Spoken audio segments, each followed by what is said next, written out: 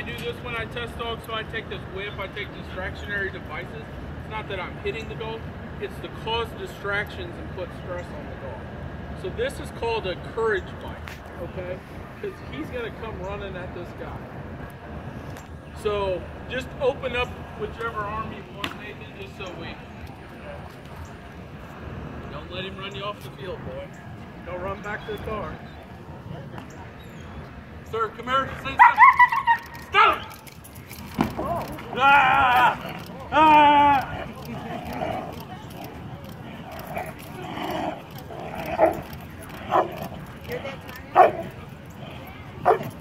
Woman!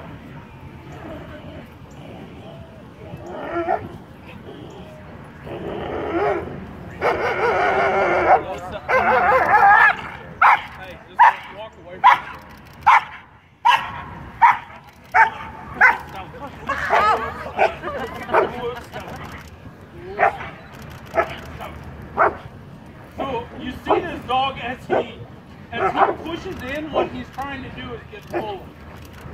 Okay? Stop! Whoa! Stop! So he's feeling that. I can just. you better not go up any higher.